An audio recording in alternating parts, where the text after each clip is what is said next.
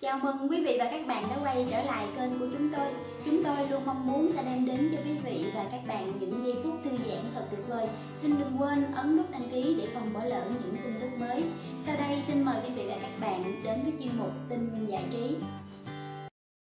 Nghệ sĩ ưu tú Nam Hùng qua đời Nghệ sĩ Nam Hùng qua đời tại nhà riêng vào 6 giờ ngày 21 tháng 10.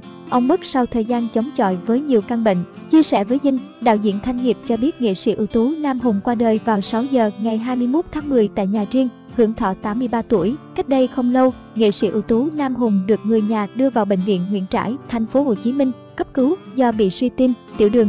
Năm nay, ông đã phải nhập viện cấp cứu hai lần. Sáng hôm nay, nghệ sĩ ưu tú Thanh Thanh Tâm con gái của ông thông báo tin buồn cho tôi, chia buồn cùng gia quyến. Đạo diễn chia sẻ, lễ tang của cố nghệ sĩ được tổ chức tại nhà riêng ở đường số 3, phường Bình Trị Đông B, quận Bình Tân, thành phố Hồ Chí Minh và an táng ở nghĩa trang Bình Dương. Trước đó, vào hồi tháng 6, ông nhập viện cấp cứu tại bệnh viện Nguyễn Trãi do suy tim, tiểu đường.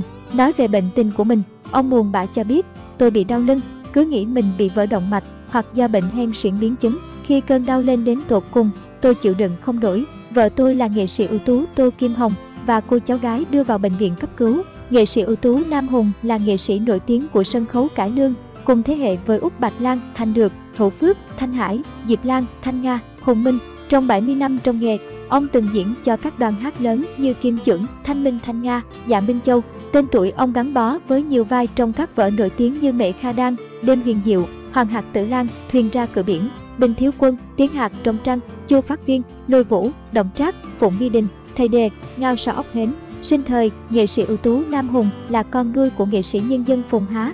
Ông được đánh giá cao với những vai kép độc trong nhiều vở cải lương. Những năm cuối đời, sức khỏe của ông yếu. Ở cạnh chăm sóc ông là nghệ sĩ ưu tú Tô Kim Hồng người vợ gắn bó hơn 40 năm.